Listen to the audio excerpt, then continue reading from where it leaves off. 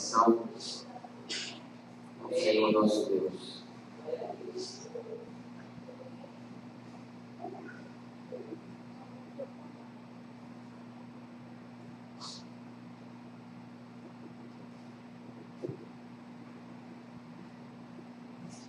Os irmãos que aqui já estão, então vamos abrir a nossa Bíblia no livro de 1 Crônicas, capítulo 22, capítulo 21.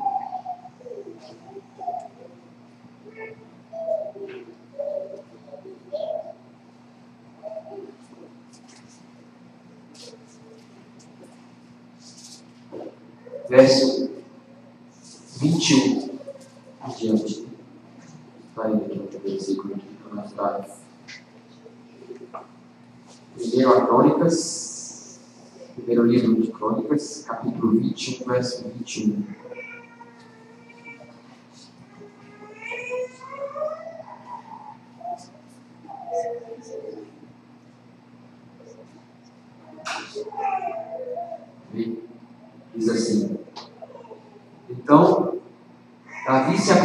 aproximou-se, aproximou, e quando Araúna olhou e viu saindo da ilha, ele se prostrou perante Davi com o rosto em terra.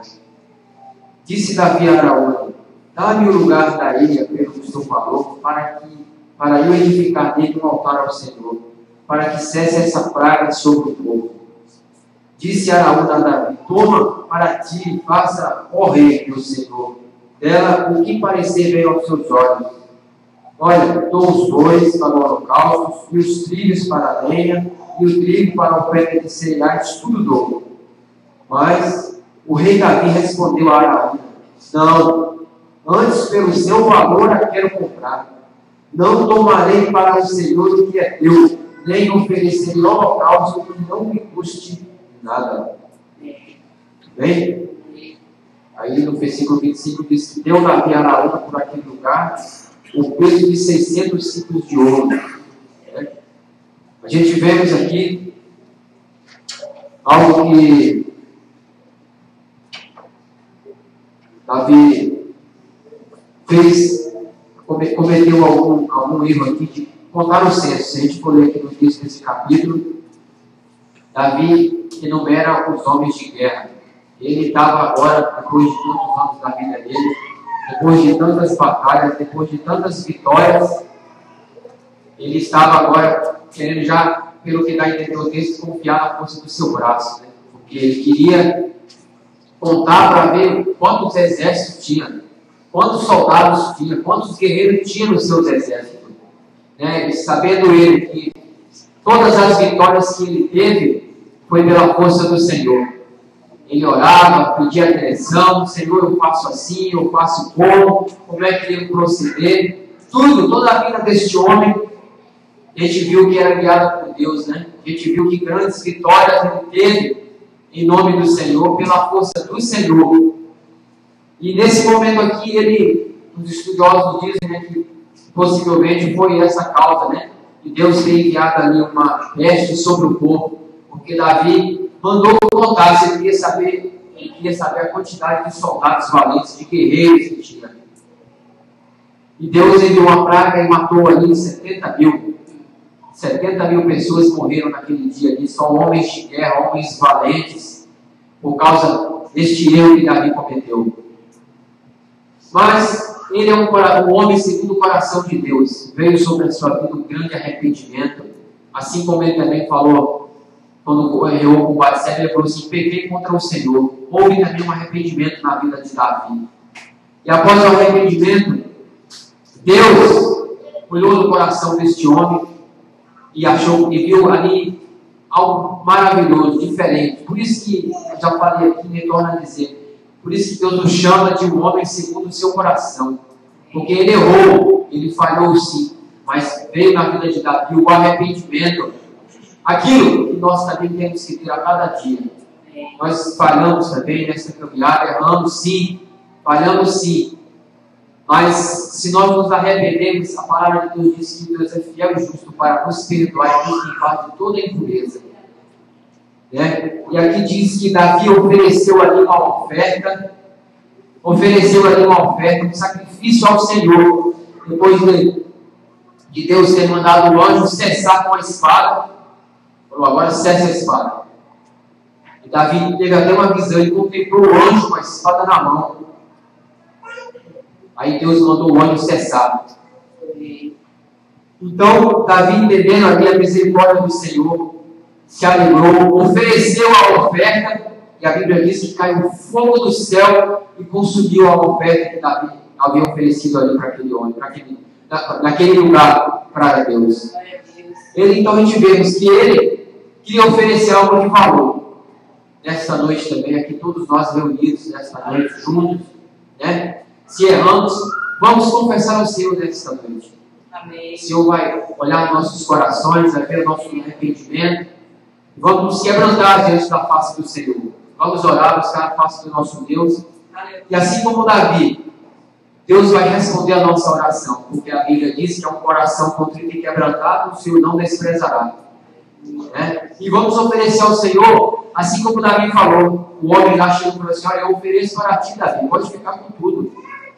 Pega o boi, pega aí o material para você fazer ali o altar, as oferendas ao Senhor, a farinha. Mas Davi falou assim: Eu não quero oferecer nada ao Senhor que não tenha valor. Né? Ele pagou tudo e ofereceu ao Senhor. Então, nesta noite, Oferece ao Senhor algo que tenha valor nessa noite. A sua vida é a coisa mais valorosa que você tem para ofertar ao Senhor. Nada, nada que a gente possa fazer vai ter mais valor do que a nossa própria vida sendo ofertada ao Senhor. Então, nessa noite, com o coração contrito, quebrantado, grato, reconhecido por tudo que o Senhor é, por tudo que Ele tem feito por nós, Olha ao Senhor nessa noite, entregue a sua oferta ao Deus Todo-Poderoso nessa noite e tenha certeza que ainda que não possa, ainda que possa também, né? Porque Deus é, não mudou, Ele é o mesmo ontem, ainda que possa, que não possa cair fogo do céu, né? Mas Ele vai responder a sua oração, é como se fosse também fogo caindo do céu para consumir a, a, a oferta, em simbolismo de que Ele aceitou a oferta daquele homem. Então, assim, Deus responderá a sua oferta se diante do Senhor você se quebrantar e orar Senhor buscando a sua face. Então, cada um fique à vontade da maneira que achar melhor. Invoca o nome do Senhor. Vamos nós agora orar ao Senhor, invocar ao Senhor e fazer com que este lugar seja o templo hoje, a cheque do Senhor bate sobre esse lugar e encha as nossas vidas, os nossos corações nesta noite. Olha ao Senhor neste momento. Em nome do Senhor Jesus. Amém. Senhor, nosso Deus e nosso Pai. Cá estamos, ó Senhor, nesta noite, nessa casa de oração. Aqui estamos, ó Deus, nesta casa, edificada a teu nome, casa essa que foi, ó Deus, consagrada, que foi aqui, Senhor Deus, preparada, para que cada um daqueles, ó Deus, que reconhece que Tu és um Deus vivo, que reconhece que Tu és, o Rei, Senhor, sobre tudo e sobre todos, virem aqui, ó Pai, neste lugar, ó Deus, ó Deus, que, que se prostrar diante da Tua presença, sabendo que tu estás aqui, presente neste lugar, para ouvir as orações, para ouvir o clamor, para ouvir o quebrantamento de cada coração. Nós nos prostramos nesta tarde, Senhor, diante da tua grandeza, Senhor, em nome de Jesus. E como, e como teu servo Davi, reconhecendo que tinha errado, reconhecendo que tinha falhado, mas com aquele coração sincero, mas com aquele coração puro, Senhor, que o Senhor conhecia, Ó Deus, o Senhor falou que ele era um homem segundo o seu coração. Ó Deus, que os nossos corações nesta noite possam dessa maneira também estar, ó Deus, contrito, quebrantado, Senhor Deus, que não possamos, ó Deus, tirar todas as nossas vestes diante da tua presença, abrir os nossos corações diante de ti e confessar, ó Deus, as nossas fraquezas, confessar os nossos erros, confessar os nossos pecados, ó Pai, diante de ti para que, Senhor nesse tempo que se chama agora, o Senhor nos perdoar, Deus, nos limpar e nos purificar pelo sangue precioso de Jesus, ó Deus. Oh Deus, que nós venhamos achar graça diante dos teus olhos nesta noite, que nós venhamos achar graça diante de ti, ó Deus, neste dia, nesta tarde, Senhor. E o Senhor, assim como fez com o teu servo Davi, ó Pai, cessar, ó Deus, aquilo que está errado, Deus, e, ó Deus, e se alegrar conosco nesta tarde, e enviar a resposta do céu, enviar, ó Deus, fogo do céu, ó Deus, e confia. E queimar, ó Deus, a oferta de adoração que queremos para ti entregar nesta noite, que é a nossa vida, Deus Em nome de Jesus, tudo aquilo que em nós, ó Deus, possa ser barreira nesta noite. Ó Deus, para que esse proceder, para que, Senhor nesta hora seja feita neste lugar, nesta tarde, Senhor. Nós queremos deixar agora, Deus, queremos abandonar toda tristeza, toda preocupação, Deus, toda mentira, todo engano, Deus, em nome de Jesus, todo pecado, nós queremos deixar agora, queremos abandonar e te pedir, seja, seja, Senhor, o seu favor sobre as nossas vidas, e que o precioso sangue do Cordeiro seja aspergido sobre toda a tua igreja, Senhor, em nome de Jesus, e que lavados, purificados, santificados por esse sangue, ó Deus, possamos uma só glória, Deus, nos alegrar e oferecer a nossa oferta, crendo, Deus, que ela será aceita, crendo que ela será aceitável, crendo que ela subirá diante da tua presença como incenso suave, incenso agradável diante de ti. Oh Deus, que nós possamos ser agradáveis diante dos teus olhos nesta noite, Deus. E nem, oh Deus, nem o mal, Deus, nada, Deus, que possa impedir tudo aquilo que foi preparado, Deus, para atrapalhar nesta noite, esta reunião de adoração, esta reunião de louvor, esta reunião de gratidão que aqui estamos para fazer, ó Deus, nesta noite. Em nome de Jesus, nós repreendemos todo o mal, e toda hoste do mal, todo o principado, e toda a potestade do mal, Deus, que se mobilizou nesta tarde para trabalhar, ó Deus, em nome de Jesus, este culto, para trabalhar esta reunião de oração, na autoridade que está sobre as nossas vidas, na autoridade que está sobre a igreja do Senhor Jesus. Nós repreendemos agora todo o mal e ordenamos, sai agora em nome de Jesus declaramos, ó Deus, que o Senhor é bem-vindo neste lugar. Nós queremos te entronizar, Senhor Deus, nos nossos corações. Queremos te entronizar, ó Pai, neste lugar, para que o Senhor possa estar aqui, ó Deus, nesta noite, para receber aquilo que lhe pertence, para receber aquilo que é teu, ó Senhor, a honra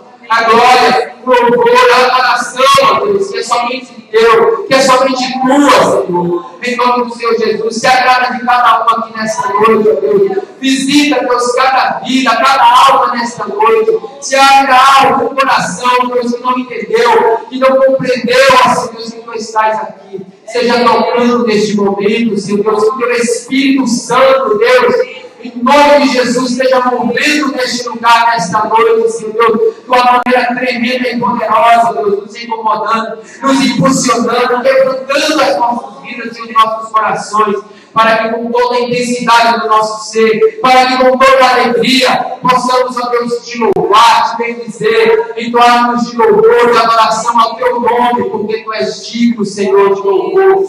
Glorificado, exaltado seja teu santo nome, ó Senhor, em nome de Jesus. Toma, Deus, vai ser feito aqui, ó Deus, desde esta oração, ó Pai, que teu Espírito esteja conduzindo cada detalhe, ó Pai, deste mundo nesta noite, Senhor, em nome de Jesus até a bênção final, Deus. Nós te pedimos, seja conosco, Senhor. Abençoa, Deus, tudo que aqui vai ser feito, porque é para ti, ó Senhor Deus, porque é por ti que aqui estamos. Em nome de Jesus, ó Pai, se agrada-te de nós nesta noite. Ó Deus, toma, Senhor Deus, o louvor da tua casa, que cada levita, Senhor Deus, com alegria, com gratidão, derrama da Deus, sobre o ministério do louvor dessa casa nesta noite. Abençoa, Senhor Deus, os levitas, ó Pai, e que todos juntos, ó Pai, com a sua voz, possam, Senhor te louvar, exaltar o seu nome, Deus, com esses hinos de louvor e de adoração. Ó Deus, em nome de Jesus, toma também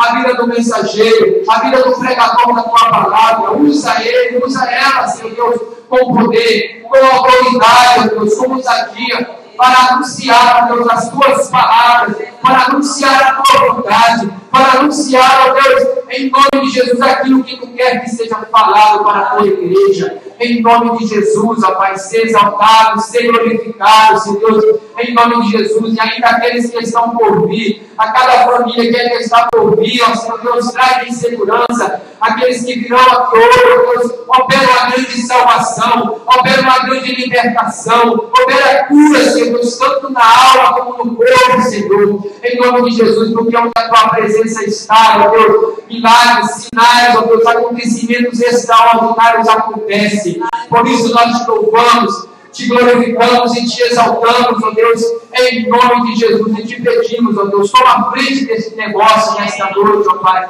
e que este culto seja, Senhor, agradável a Ti, como uma oferta, Senhor limpa, santa, imaculada, e possa chegar diante da Tua presença. É assim que nós oramos, porque é assim que nós cremos, ó Senhor, no nome santo e poderoso do Senhor Jesus. Nós oramos, te louvamos e te exaltamos. Amém.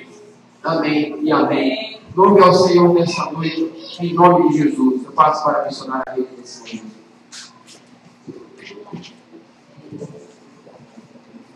Amém, Pai Senhor.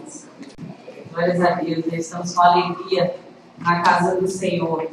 Então, oferte ao Senhor, né, como o diácono falou, oferte o seu melhor ao Senhor, algo que te puxe. Às vezes a gente, você está cansado aí, o seu corpo não aguenta nem se balançar, né, mas faça para o Senhor, né, louve ao Senhor com alegria, levante suas mãos, adore a Ele, porque Ele é digno.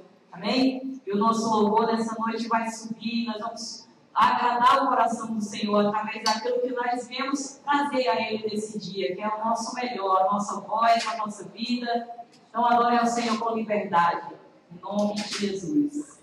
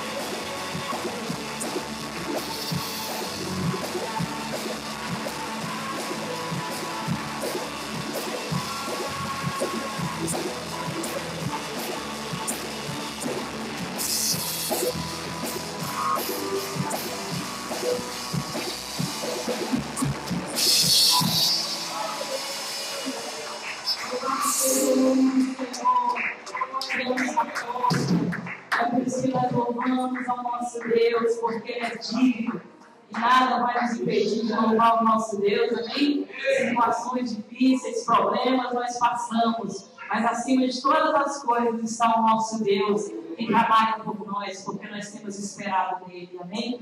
Glória ao Senhor. Legitimidade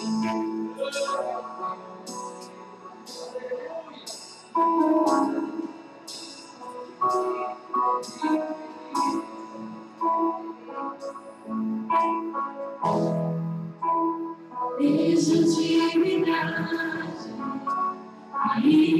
não se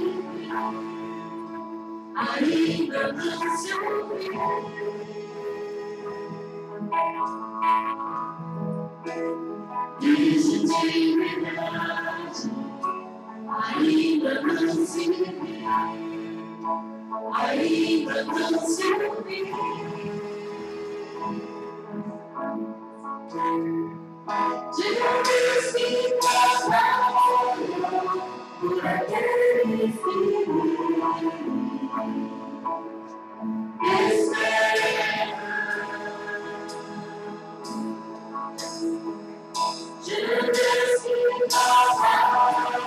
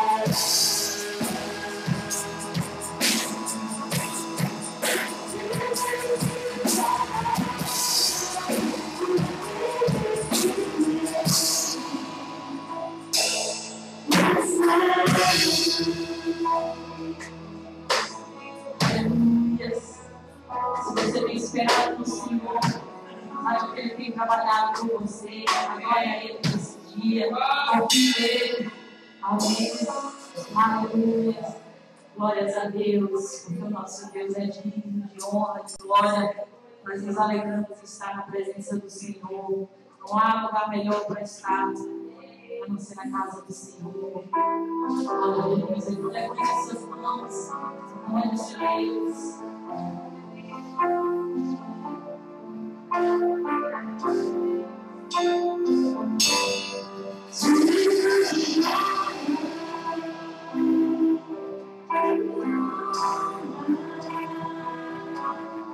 Nessas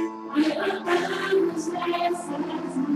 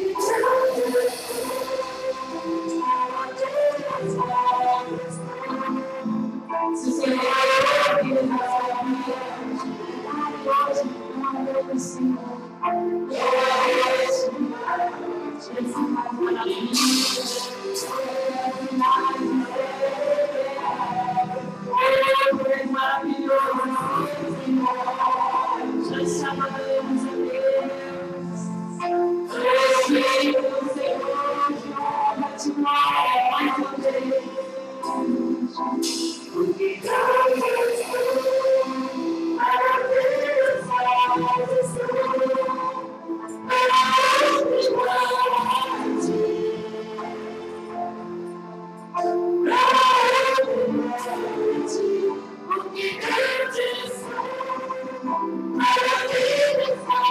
will be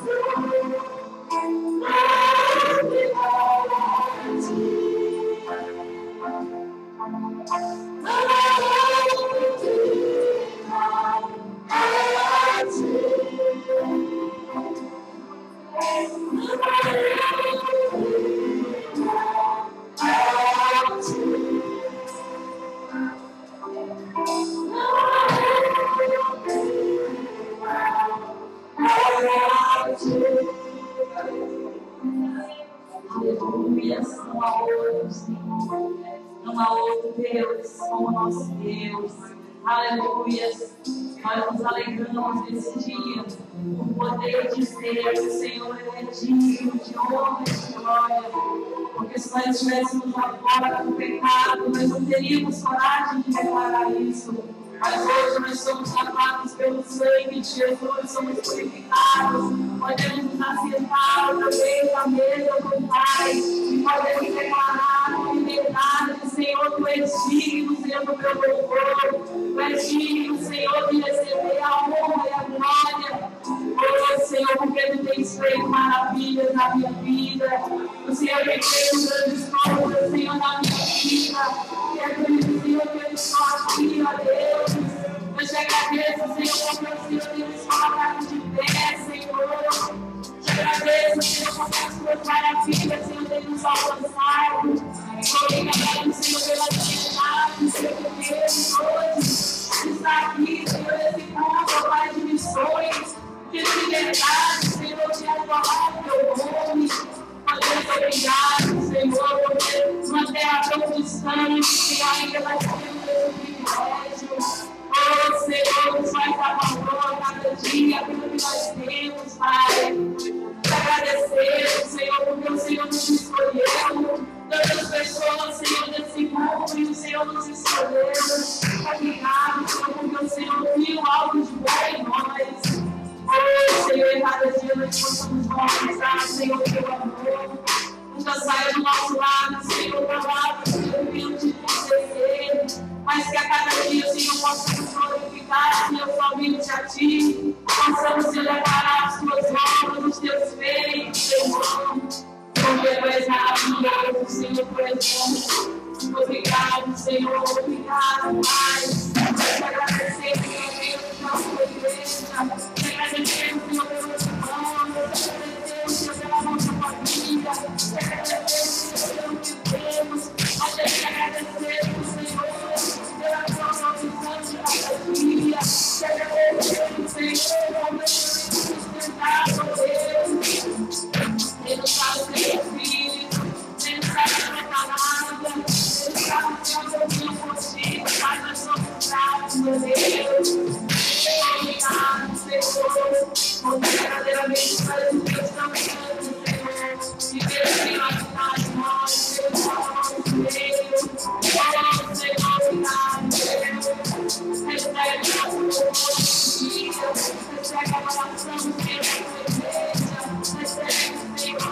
Senhor, recebe a Deus, o nosso Senhor,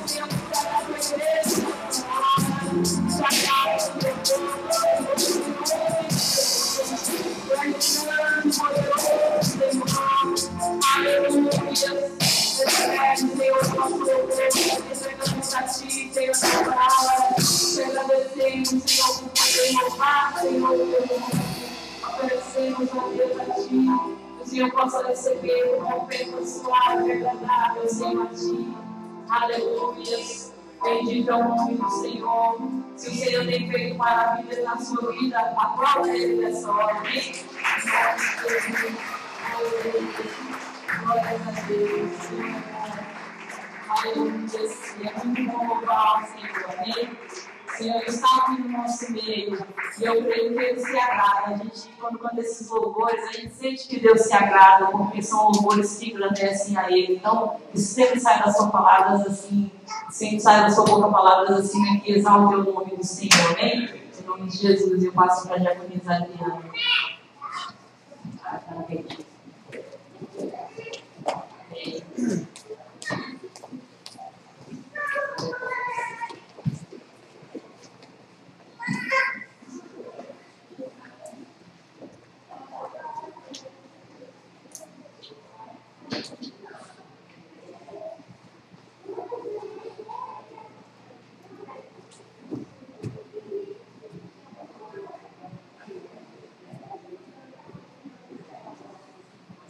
Ser, meus irmãos? É, esse momento é o momento de nós glorificarmos as maravilhas que o Senhor tem feito em nossas vidas. A oportunidade está aberta ao irmão que queira glorificar o Senhor. Já colocado.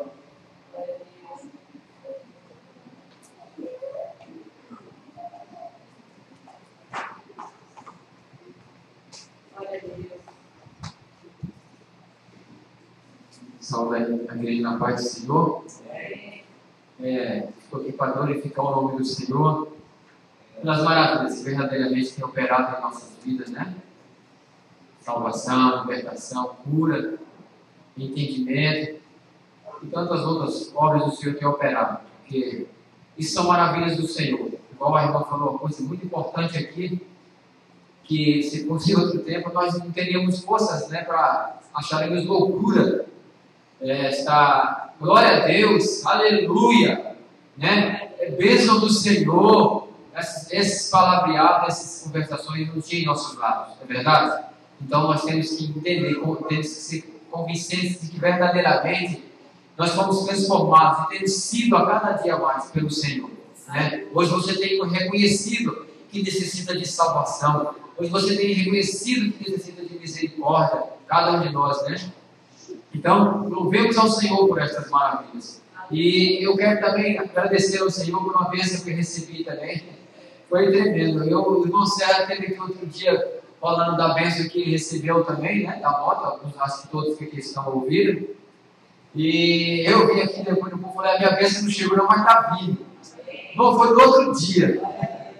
No outro dia eu recebi uma bênção também. A minha geladeira já estava bem, já estava bem usadinha, né? Uns aninhos de caminhada já. Quando eu ganhei ela, ela já tinha sido usada por um casal muito tempo, né? E a nossa estava meia ruim, antiga, aí deu essa para nós. Já, já tinha 10 anos de uso. E, e tem uns tempos, uns anos atrás, resolvi quase que deu uma, uma parada cardíaca dela. Eu tive que ir lá dar uma aquecida no motor, uma sacudida nela. Esse os meninos que mexeram nos botões dela, a gente desregulou, gelou demais, quase quebrou tudo ela. Mas aí, esses dias, acho que foi outro dia que serve aqui, eu acordei, aí é, eu estava indo para o culto. Aí a, a, a irmã apareceu, ô irmão, teve uma japonesa que vai botar aqui o endereço aqui, e ela parece que vai comprar as coisas novas, e ela tinha uma geladeira, a geladeira está novinha, e ela não quer a geladeira. Aí deixou aqui com o irmão Cláudio, aí eu vim perguntar para o irmão se o irmão não quer a geladeira. Eu falei, meu irmão, quero sim. Eu nem tinha visto a geladeira, quero sim. Quando eu fui lá olhar a geladeira, ela era uns quatro dedos mais alto do que a minha. E, e, o espaço interno dela muito bom, né? Cabeu bastante coisa. A nossa também já estava. Porque às vezes tem que ter muito leite que tem que enfiar na geladeira, que às vezes falta lugar para guardar outras coisas. Aí, então, a geladeira, limpei a geladeira assim, é novinha, novinha, novinha, funcionando perfeitamente, silenciosa, porque a outra lá estava batendo o motorzão dela, que até o vizinho de baixo escutava. Então eu louvo a Deus, né? Porque você vê que até, como os irmãos sempre têm falado, nessas pequenas coisas, né? Deus tem cuidado de. Então, mais cedo ou mais tarde teria que comprar, adquirir uma outra, né? Por pouco já tive que comprar um tempo atrás, né? Mas Deus sabia que a bênção estava chegando e chegou mesmo, né? Então eu louvo ao Senhor por esse cuidado, por esse carinho que ele tem as palmas louvam ao Senhor nesse momento. Glória a Deus. O Senhor, Ele cuida dos mínimos detalhes. Creio que muitos aqui eh, têm tido prova com o Senhor, o Senhor tem abençoado. Né? De uma maneira ou de outra, o Senhor não tem deixado faltar, o Senhor tem suprido as necessidades da vida. Mas algum irmão se habilita? Então, é, gostaria de compartilhar uma palavra com os irmãos que se encontram em Salmos, é, versículo 90, 1 e 2. Salmos 90, 1 e 2.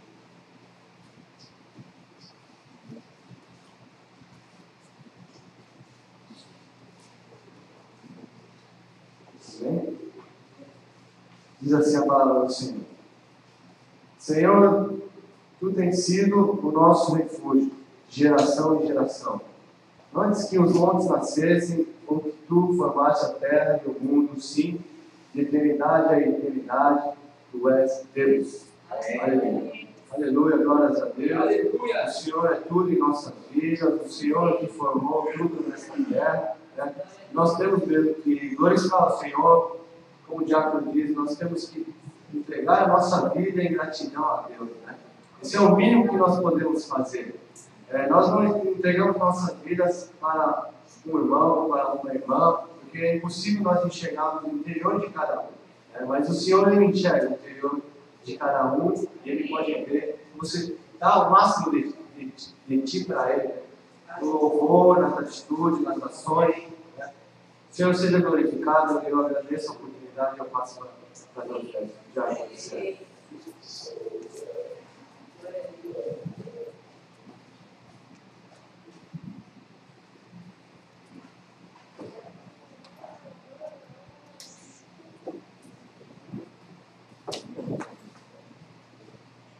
Cumprimentos, irmãos, a paz do Senhor. Hein? Vamos lá, por favor, em Marcos, capítulo 3.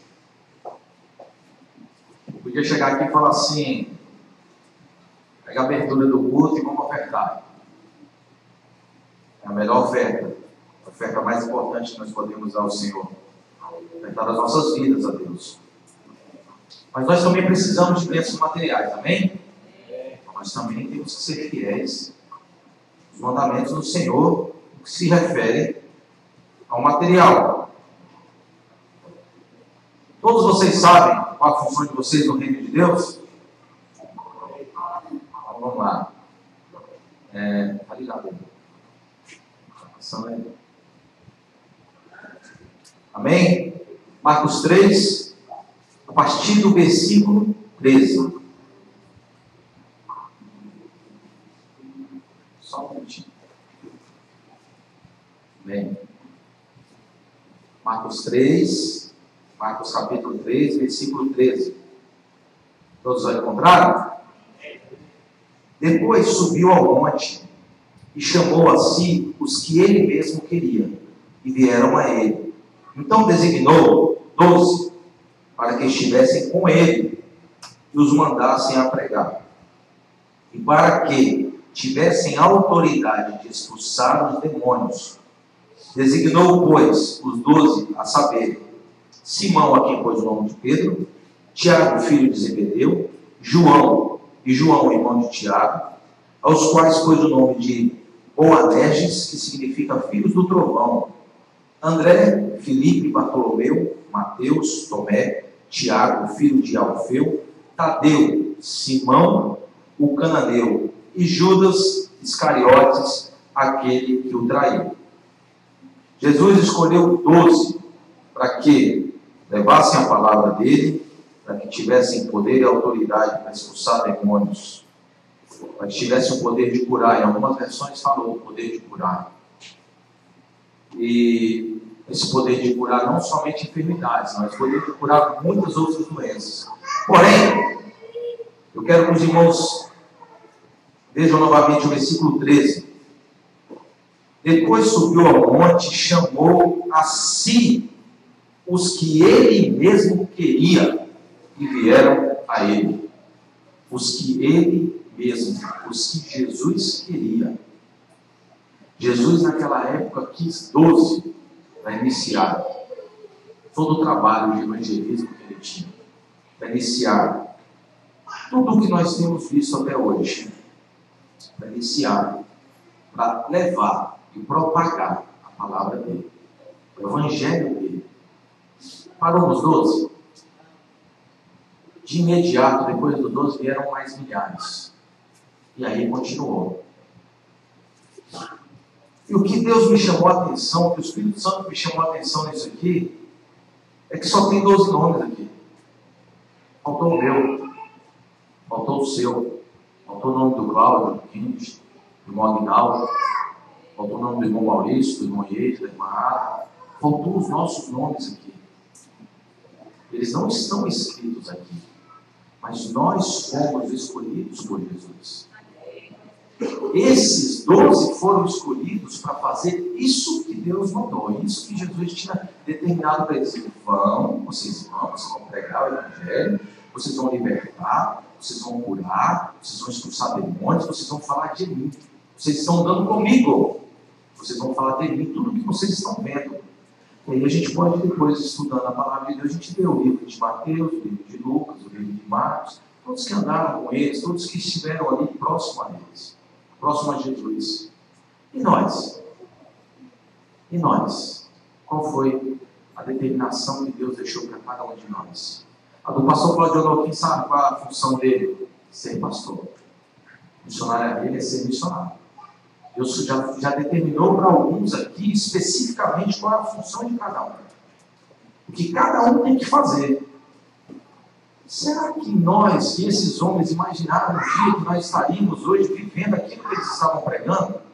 Eles imaginavam o que nós imaginamos. Que nós pregamos para um, para dois, para dez, quando nós temos oportunidade. E a gente sempre imagina que várias pessoas vão chegar a Jesus pelo que nós estamos fazendo aqui mas com certeza absoluta. A Bíblia não fala isso, mas eu tenho certeza esses homens jamais imaginaram, imaginavam que a obra de Deus seria tão grande, que nós seríamos atingidos, nós seríamos alcançados pelo que eles fizeram há milhares de anos atrás. Então nós, nós hoje, temos que ter esta visão que talvez eles não conseguiram imaginar a grandeza dessa obra. Nós já sabemos o quão grande é a obra do Senhor. Nós temos visto isso. Então, se eles não imaginavam antes, porque ainda não tinham visto toda essa grandiosidade, e nós hoje que já vemos, nós temos que imaginar que vai ser muito maior do que o que nós temos visto. Só que um detalhe importantíssimo, nós fazemos parte disso agora. As missões, somos nós que patrocinamos as missões daqueles que não têm as mesmas condições que nós temos tido, somos nós que estamos ali sempre ajudando naquilo que nós podemos. Se nós pudermos fazer mais, vamos fazer, irmãos. Vamos fazer. Porque às vezes o pouco que a gente faz aqui, a gente não imagina o quão grande é o resultado lá na frente. Se os irmãos ainda não viram, vejam as fotos das crianças do, da, da, da, instituição lá, do pastor. Me falhou a memória agora. Pastor Coelho? Não, não é dele, do outro. Pastor Roberto, da missionária Serra. Vejam, se eu, Serra, uma única pessoa, posso ajudar com a força do Senhor, que Deus tem me dado condições, 10 pessoas apenas, vamos colocar 10. Se nós aqui somos 30, 30 vezes 10 deu 300. Eles estão com centenas de crianças. São centenas de crianças que eles estão ensinando aquilo que nós só estamos aprendendo agora. Eles estão aprendendo desde criança. Fora os adultos, que já foram formados, que já estão virando formadores. Quantos milhares de pessoas serão alcançadas pela obra do Senhor, pela palavra do Senhor, através do que nós também estamos fazendo? Que nós também somos contribuintes disso. Então, em nome do Senhor Jesus, irmão, nós precisamos, nós podemos fazer isso. Eu vi uma pregação sugoi, que não pode dar, é, é, era do pastor do Brasil, falou que não pode dar 10 reais, que não pode dar 20 reais para a obra missionária. Hoje eu pergunto aqui, quem não pode fazer isso, dar 5 mil, 10 mil para uma obra missionária? E para nós, pode fazer diferença hoje, mas amanhã Deus vai prover. E para eles é muita diferença. E se a gente manda 50 mil todo mês, que já está sendo grande, imagina se nós conseguimos mandar 100. Imagina se nós conseguimos mandar 200. Imagina se daqui um dia a gente conseguir mandar um milhão. É impossível? Se a gente conseguir mandar um milhão de entes, o que está acontecendo aqui? Deus está prosperando a nossa vida. Se a gente tem condições de mandar um milhão, a gente não está mandando não está sobrando, a gente está mandando aquilo que a gente está tendo condições de mandar. Então, se a gente consegue mandar um milhão e não está nos faltando nada, quer dizer que Deus está prosperando a nossa vida. Se com 50 mil a obra está sendo tão grande lá, imagina um milhão. Então vamos nos esforçar. Vamos ter esse pensamento lá na frente. Porque Jesus Cristo disse para mim, hoje, para vocês, hoje. Olha só o que Jesus disse. Eu chamei para mim os que eu mesmo quero. Aqui está no passado. Ele, ele queria aqueles doze naquela época. Só que hoje ele quer cada um de nós. É cada um de nós que Deus escolheu. É cada um de nós que Deus tem sustentado. É cada um de nós que Deus tem mantido. É cada um de nós que vai fazer com que a palavra do Senhor seja propagada. E amanhã, milhares de pessoas ouvirão falar dos nossos nomes. Não para que nós sejamos engrandecidos, mas para que o nome do Senhor seja engrandecido. Ah, tem uma igreja lá em Tacaoca. Ela não é tão grande quanto as outras que tem milhares de, de fiéis, de ovelhas. Mas ela tem feito uma obra muito grande, porque ela tem se empenhado em fazer a vontade do Senhor. E, em consequência a isso, nós seremos abençoados. Então vamos imaginar, vamos ver. Eu falo muito com os meus filhos o que é a fé. Nós temos fé, não temos? Se nós não tivéssemos, nós não estaríamos aqui. Então a nossa fé, a fé é a visão do que não existe. É a visão que a gente não pode imaginar. A fé a gente vê o que não existe. Então vamos ver o que não existe. Milhares e milhares de pessoas sendo abençoadas pelo que Deus tem feito em nossas vidas. Amém? Os irmãos possam se levantar e ofertar. Coração feliz, porque Deus tem dado a oportunidade. E com o pensamento de que amanhã nós faremos mais. E Deus vai nos dar condições. Amém? Amém? Amém.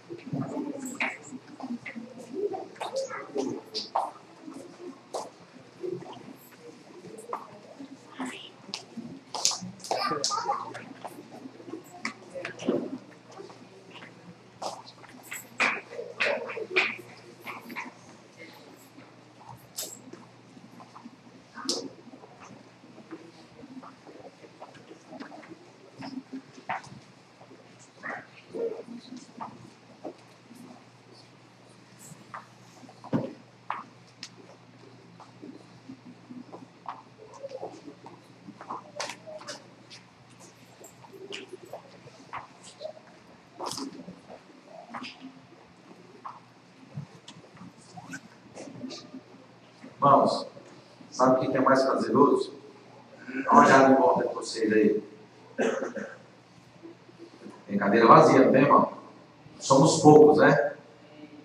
Jesus precisa de muitos para fazer milagre. Jesus, Jesus usou Gideão e mais 3 milhões de pessoas para fazer os milagres, né? Jesus usou Gideão em quantos? Apenas 300. Mas os que se quantificaram foram milhares. Mas os que fizeram realmente foram só 300. Os irmãos estão aqui todos os dias, vocês têm visto que muitas pessoas têm se quantificado, têm estado aqui. Muitas pessoas têm vindo e participado, mas poucos têm feito. Poucos têm permanecido. Nós somos o exército de Deus, somos o exército do Senhor. E é usando a vida de cada um de nós, esses poucos que aqui estão, é usando as nossas vidas que Deus vai fazer muitos milagres. Não só na África, mas aqui também. E usando as nossas vidas, o que é o mais importante. Porque nós seremos beneficiados por isso. Amém? Vamos orar? Agradecer ao Senhor. Senhor Deus amado, muito obrigado, Senhor Jesus, por mais um dia na tua casa, por mais uma semana de bênçãos, maravilhas, por mais uma vez poder ofertar, dizimar, mas, Senhor amado, e cumprir o teu mandamento de amor. Porque é um mandamento, Senhor, de amor. Cumprir o que o Senhor deixou para nós é um prazer. Então nós te pedimos, Senhor Deus Todo-Poderoso, nos permita, Senhor, enquanto o Senhor não volte, que nós possamos estar aqui cumprindo as tuas vontades, cumprindo os teus mandamentos, cumprindo, Pai Senhor amado, aquilo que nós temos aprendido. E que o Senhor possa, a cada dia, estar falando conosco, continuar nos ensinando, nos guiando, nos instruindo como agir, para que o Senhor encontre graça em cada um de nós, Senhor. Que nós possamos ser, Senhor Deus Todo-Poderoso, os instrumentos desejados, os, os instrumentos, Senhor, sempre disponíveis para fazer a tua vontade, Pai amado, para fazer a tua obra. Que nós possamos estar sempre, Pai amado, como soldados de prontidão, para seguir, Pai amado, e cumprir os mandamentos do nosso general. Em nome do Senhor Jesus, Pai. O Senhor possa fortalecer cada irmão que aqui está. Cada um que tem, Pai amado, perseverado. Muitas vezes passado por dificuldade, passando por dificuldade, passando tribulações, mas perseverando na tua vontade, Senhor. Perseverando em estar na tua casa, perseverando em estar nos teus caminhos, porque cada um de nós, Pai amado, sabe que o teu caminho é o melhor caminho. Somente o teu caminho vai nos levar à salvação, Senhor. Então, no nome do Senhor Jesus, abençoa a vida de cada irmão, abençoa a vida de cada homem, cada mulher, cada casal, cada família, cada criança que aqui tem estado, Senhor. Em nome do Senhor Jesus, abra as janelas dos céus e, Paizinho amado, abençoe grandemente a vida de cada um, para que cada dia, Paizinho amado, nós possamos estar sempre, Paizinho amado, ofertando mais, dizimando mais, nos empenhando mais em fazer a tua vontade, Senhor.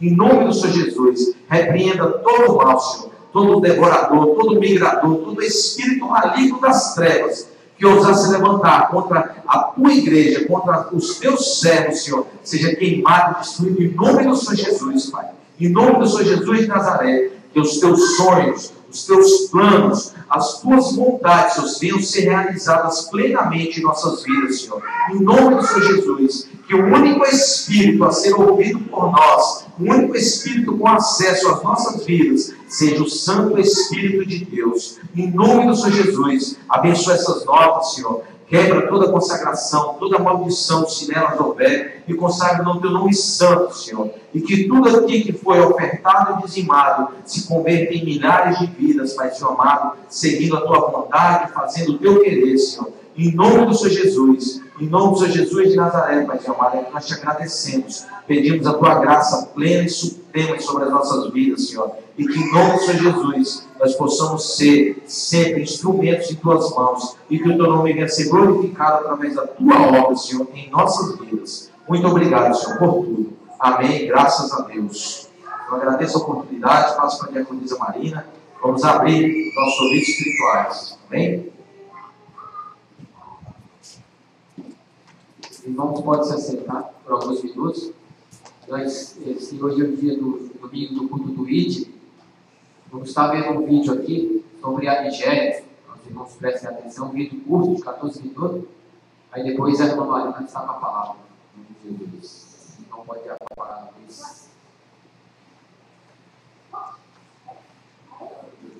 Então, eu vi uma fumaça. Eles colocaram fogo na minha casa. E quando eu percebi, eu estava lá. Então eu resolvi fugir de lá. Thank you.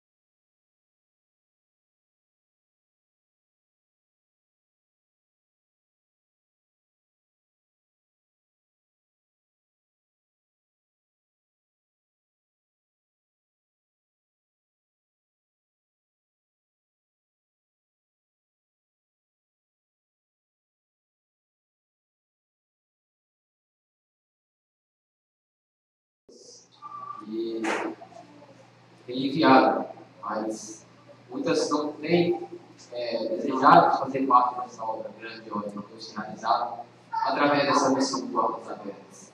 Aí é necessário pessoas para que aquela obra seja desenvolvida, né? porque não adianta só o pastor, o homem que fundou a missão portas abertas, ele sozinho não poderá fazer nada.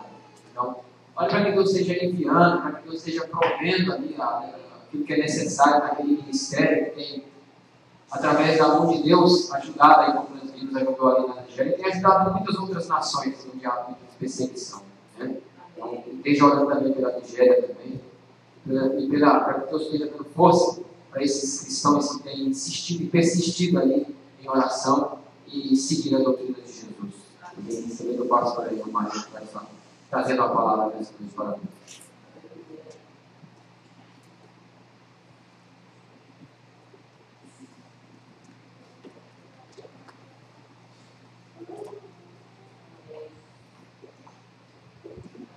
Da igreja da paz do Senhor, amém? Glórias a Deus. O Espírito Santo está aqui no nosso meio, testifica, né, irmãos? Da sua palavra, porque é Ele que governa nossas vidas e tem a direção para nos dar este dia, amém? Os irmãos abram aqui em 1 Pedro, capítulo 5.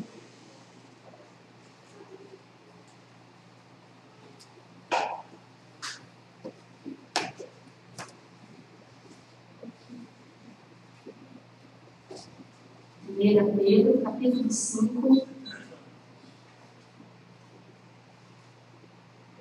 Estarei deixando o versículo 6, mas nós estaremos meditando este capítulo.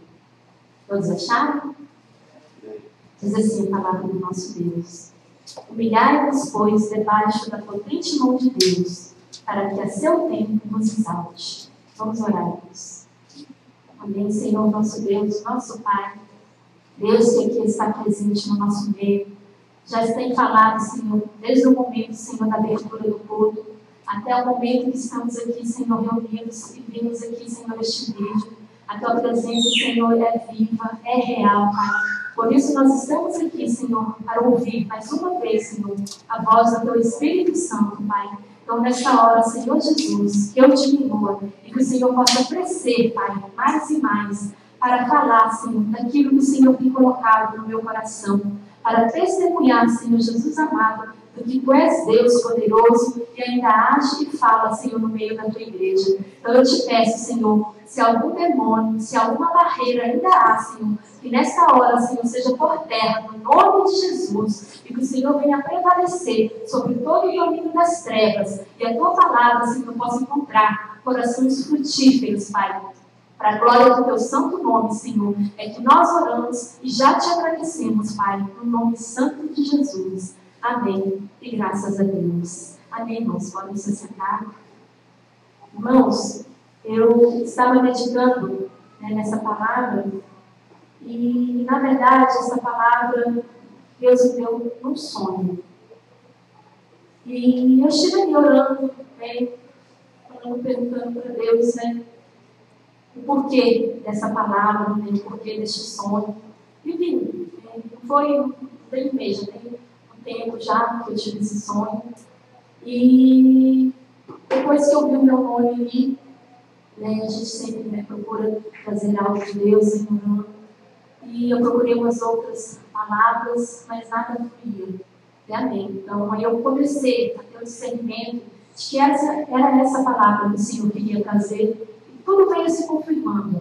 Amém? E eu quero dar o título dessa palavra de mais de Deus e menos de mim. É, assim para cada um dos irmãos. Amém?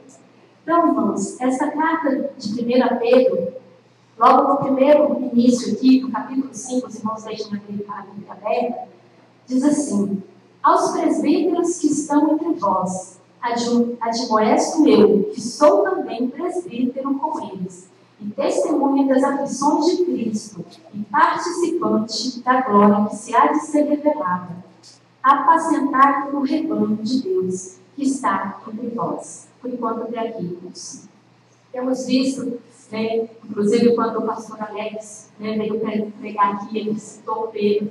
A japonesa Érica, né, no culto do possível, na terça-feira, ela citou Pedro. Então, temos né, muito a aprender com este grande discípulo do Senhor, teve seus momentos de falhas, sim, no momento que negou o Senhor, mas ele foi porque um homem muito usado por Deus, porque ele se arrependeu, ele se colocou debaixo ali da mão de Deus, né, e houve um arrependimento sincero no seu coração, né, ele deixou de ser pescador de peixes para ser pescador de almas. Né, conhecemos a história dele.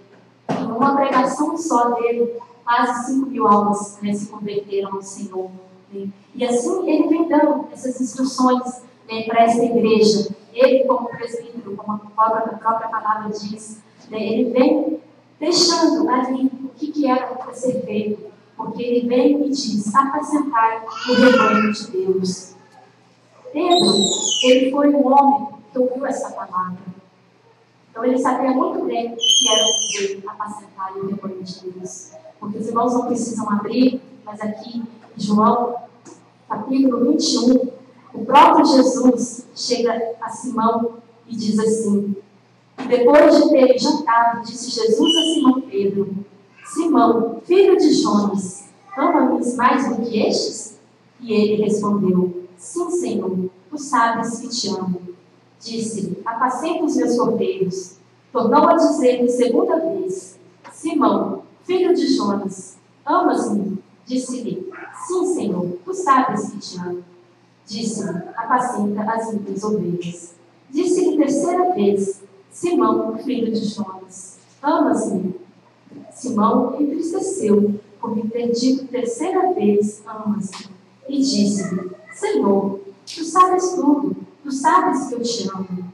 Jesus disse: Apacenta as minhas ovelhas. Amém, irmãos? Quão pensativo Pedro não ficou no momento ali que ouviu essas palavras do próprio Jesus. Tu me amas? Por três vezes Jesus pergunta a ele. Por três vezes ele dá essa resposta. Mas o Senhor fala: apacenta as minhas ovelhas. E assim é o que o Senhor tem dito para nós, né? como temos ouvido aqui. Quantas pessoas né, estão sofrendo ali na Nigéria, em outros países, por amor de Cristo? E nós temos essa liberdade.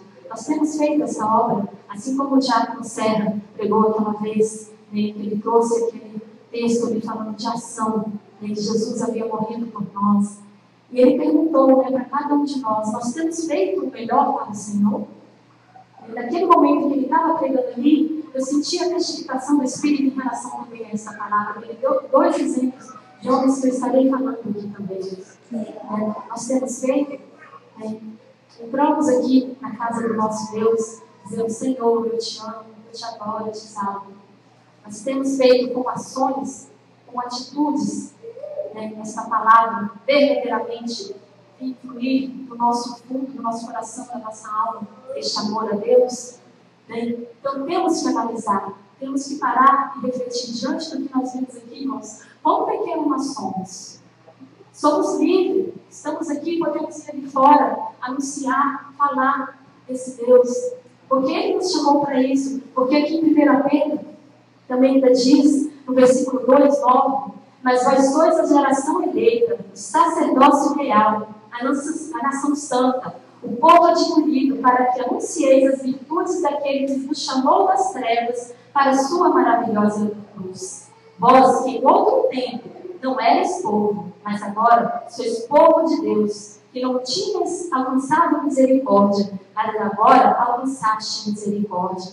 Olha só que tremendo, irmãos. Deus falando para nós. Nós somos o povo santo, povo escolhido do Senhor. Então nós temos que ir e anunciar essa palavra que nós temos crido, que nós temos perseverado ali em falar aos nossos filhos, a falar às pessoas que estão à nossa volta algo que eu me vejo em relação a isso também no momento que Pedro vem e fala essa carta, eu tirei também, irmãos, para nós pais. Nós temos este dever de instruir os nossos filhos no caminho do Senhor. Porque eles serão a futura né, geração, futuros missionários, pregadores, pastores da palavra de Deus, se Jesus até não voltar. E o que nós temos construído na vida dos nossos filhos. Temos realmente plantado essa palavra que o Senhor nos deixou. Nós não precisamos de um cargo, de um título de pastor, de presbítero, de diácono, de missionário, para instruir os nossos filhos. Este cargo está nas nossas mãos. A partir do momento que construímos uma família, sabemos que o varão é a cabeça. Nós, como adjutores, intercessores, estaremos do lado, apoiando tudo que é dito, tudo que é falado, né? através das nossas orações. Então temos que construir este grande movimento para que as barreiras não venham quebrar tudo aquilo que nós temos plantado no coração dos nossos filhos. E isso é muito importante, irmãos, porque a palavra diz: sede sóbrios, vigiai, porque o diabo, vosso adversário, anda em derredor, bramando como leão, buscando a quem possa tragar. Ele quer destruir a família. Mas se nós estivermos juntos, perseverando, ele não irá prevalecer sobre nós, porque o Senhor, o Cristo, o nosso Redentor, está sobre as nossas vidas. E nós temos um exemplo do próprio Timóteo. Né, se os irmãos quiserem ver depois, né, 2 Timóteo 3,15, Paulo diz assim: que desde a tua meninice sabes as sagradas letras que podem fazer-te sábio para a salvação pela fé que há em Cristo Jesus. Timóteo, ele foi criado pela sua avó e pela sua mãe, que eram cristãs, desde a meninice, né, como relata a Bíblia. Então vemos aqui que ele teve instruções já desde a infância. Ele foi ali também um grande discípulo amado de Paulo. É, o próprio Paulo cita nas suas cartas ao meu amado filho Timóteo, meu filho na fé. Então vemos aqui que desde que ele teve a instrução da sua avó, da sua mãe, depois ele teve um grande instrutor, foi Paulo, na sua vida, uma grande influência. Então nós vemos aí a importância mesmo de vermos o quão grande é e a recompensa que há para aqueles que realmente continuarem instruindo as crianças no caminho do Senhor. Amém? Temos aqui outro exemplo também, João Batista. Eu coloquei aqui, porque é em Lucas 1,15 diz assim: Pois ele será grande diante do Senhor, não beberá vinho nem bebida forte, e será cheio do Espírito Santo, já no ventre materno. A maioria de nós conhecemos aqui a história né, de João Batista, no momento ali que o anjo aparece a Zacarias falando que a sua esposa ficaria grávida, ele ainda duvida né, de que isso poderia acontecer, por ele já ser de casa, assim como Abraão e Sara. Né, e o anjo chega para Zacarias e ainda diz: né, Porque duvidaste, tu ficarás mudo quando né, o seu filho não nascer, enquanto João Batista não nascesse. Né, até então, aí João Batista nasce. O que acontece? Né, ele volta a falar, mas ali, João Batista, sua esposa, né, o que, que eles fazem? Né, continuam ali aquilo que ele já tem a fé, que já tem em seus corações né, de Deus, começa a destruir João Batista. Nós sabemos que João Batista né, foi precursor de Jesus. Ele veio né, anunciar né, que aquele povo viesse se converter dos seus maus caminhos. Né, e assim temos que ser nós também aqui no nosso meio. Né. Se nós vemos os nossos filhos, né, temos que ir corrigir. Muitas vezes a gente sempre fala, a gente sempre fala isso para a Letícia. Né? Se a gente tiver que bater em vocês, vai doer muito mais em nós do que em vocês. Porque não é a de nenhum pai vir ali machucar os seus filhos, né, no momento que nós estamos batendo. Mas é melhor nós fazermos isso hoje e chorar com eles hoje junto, do que amanhã nós viemos a chorar por eles, né, com eles afastados dos caminhos do Senhor. Então vamos analisar, irmãos, vamos refletir, como foi dito aqui por Pedro, não somente porque ele era um presbítero, né, mas cada um de nós vamos tomar né, o governo da nossa casa, Vamos apoiar o nosso marido, as esposas, o marido apoiar a esposa em todos os momentos, é, juntos, em comum acordo, diabo venha ser envergonhado, que não venha agir na nossa vida. Eu quero deixar um exemplo para os irmãos também de quão triste é a cara do, do, do pai que não está ali juntos. Irmãos, abra aqui primeiro Samuel. Primeiro Samuel, Samuel capítulo 3. 1 Samuel capítulo 3, versículo 11. Este é um exemplo muito conhecido também, que é o exemplo de Eli. Ele foi um grande profeta, um grande sacerdote, instruído né, para poder instruir Samuel. Mas ele teve uma grande falha, que diz assim a partir do versículo 11, capítulo 3. E disse o Senhor a Samuel: Eis que vou, eu, eis que vou eu a fazer uma coisa em Israel, a qual todo o que ouvi e te dirão ambas as orelhas. Naquele mesmo dia suscitarei contra ele tudo quanto tenho falado contra a sua casa. Começar-no-ei e acabar-no-ei, porque já eu fiz saber que julgarei a sua casa para sempre, pela iniquidade que ele bem conhecia, porque fazendo-se os seus filhos execráveis, não os repreendeu. Portanto, jurei a casa de Eli, que nunca mais gerá espiada, a iniquidade da casa de Eli com sacrifício, nem com oferta de manjares. Amém, irmãos? Olha aqui, irmãos, como nós vemos né? Deus repreendendo, como sempre tem dito, Deus repreende aquele a quem ele ama. E se os irmãos forem bem, essa é a segunda vez que Deus alerta ele, usando a vida de Samuel no momento em que ele chama Samuel, e ele vai vir falar, né? Três vezes né, Deus fala, Samuel, Samuel, e depois Deus vai dar este, esse aviso para Samuel. E antes, Deus já havia, no capítulo anterior, se os irmãos depois estiverem em casa, Deus já repreende através de um outro profeta, né, falando que ele não mais estaria ali com a mão sobre a casa de Eli. Os seus dois filhos né, iriam morrer órfãos e fiéis. No mesmo dia, ele iria perder os seus dois filhos por não repreender, por não fazer com que eles continuassem nos caminhos do Senhor, porque a partir do momento que seus filhos faziam algo errado, ele permitia, ele não falava nada.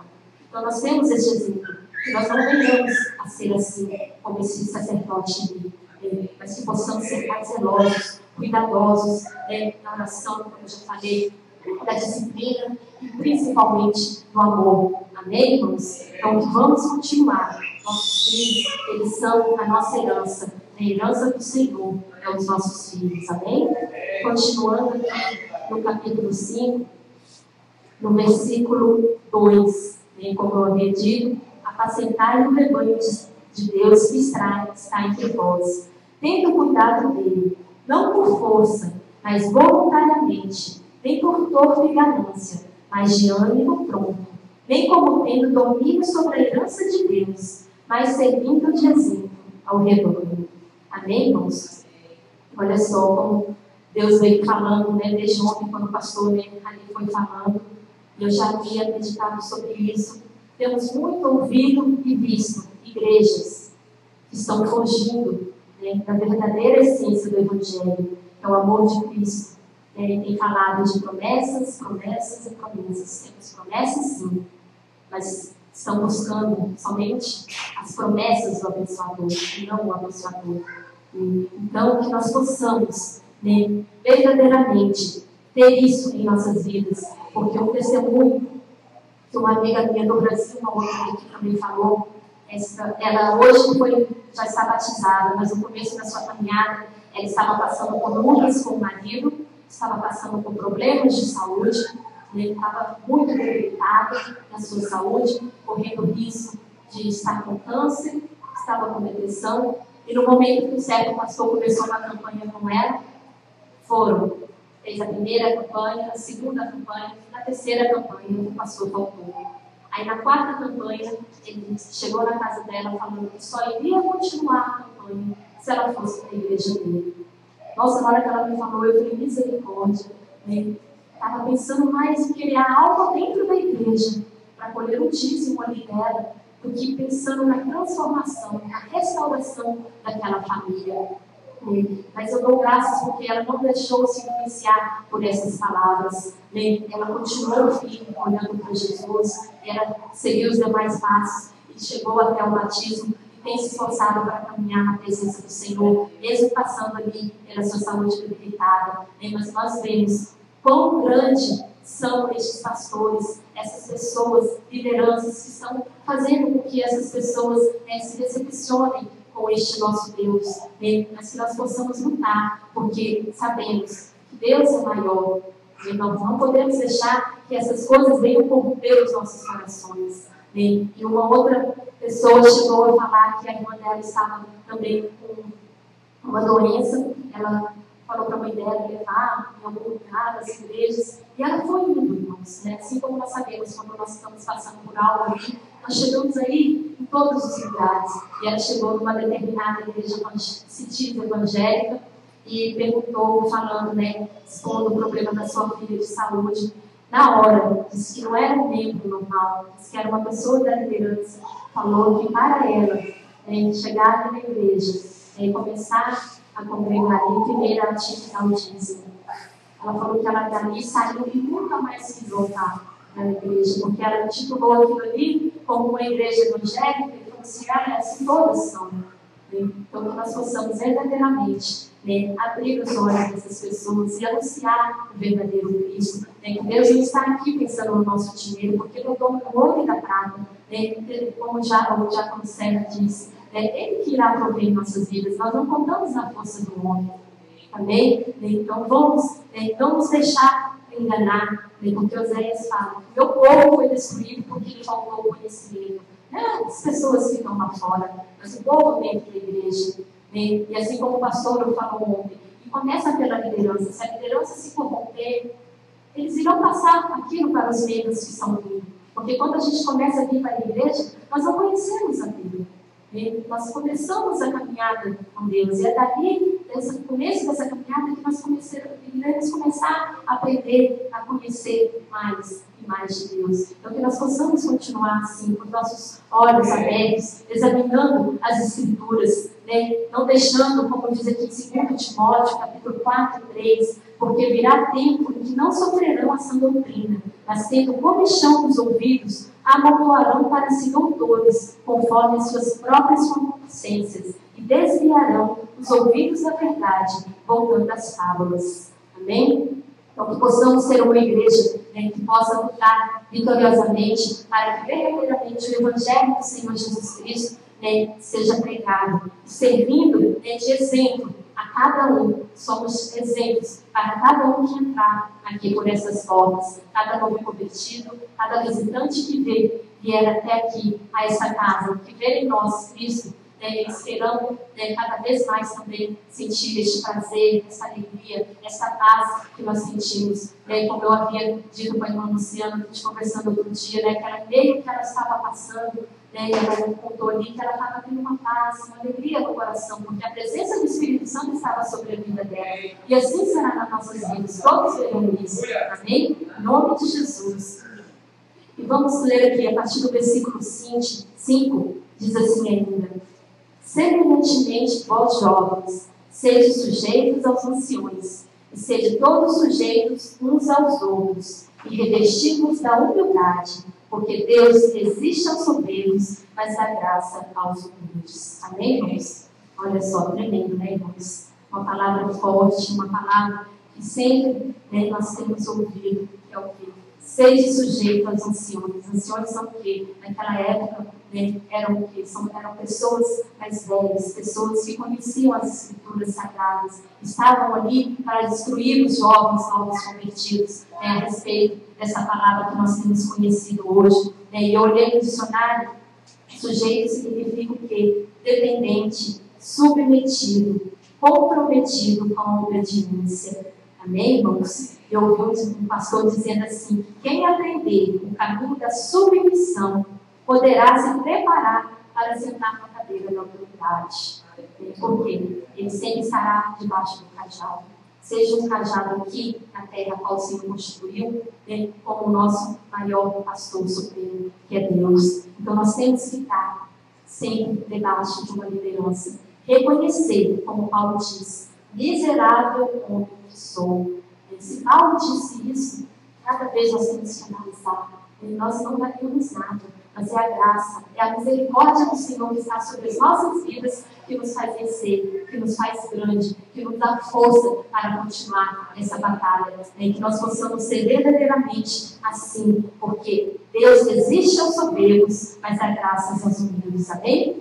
E eu quero relatar aqui para os irmãos verem homens que foram obedientes às suas lideranças, como o Diácono Serra pegou naquele dia que foi Josué e Eliseu. Josué, nós conhecemos a história dele, e ali em Deuteronômio 31, 7 diz assim: Chamou Moisés a Josué e lhe disse: aos olhos de todo Israel. Esforça-te e anima-te, porque com este povo entrarás na terra que o Senhor jurou a teus pais lhe dar, e tu os farás herdá-la. O Senhor, pois, é aquele que vai adiante de ti, ele será contigo, não te deixará, nem te desamparará. Não temas, te espantes. Amém? Aqui Deus dá ordem a Moisés para que vá ali no meio de Josué, porque Deus depois fala a Moisés que em breve ele iria morrer, que precisava deixar um sucessor para que fosse ali e, e levasse né, ao povo de Israel para entrar na terra prometida.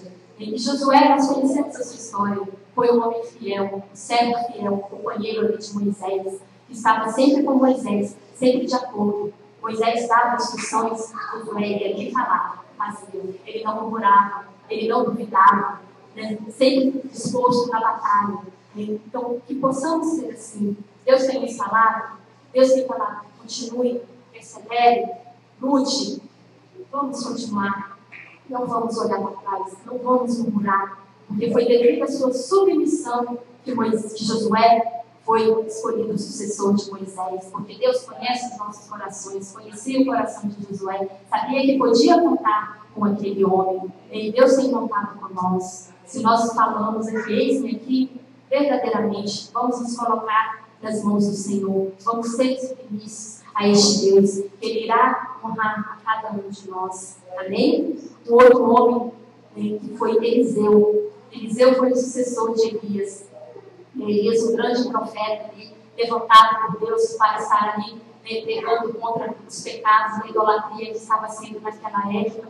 E Eliseu, né, a gente vê aqui uma história muito interessante, mas a história de Eliseu. Aqui, em 1 Reis 19, diz assim: Partiu, pois, Elias dali e achou Eliseu, filho de Safate, que andava lavrando com doze juntas de bois adiante dele.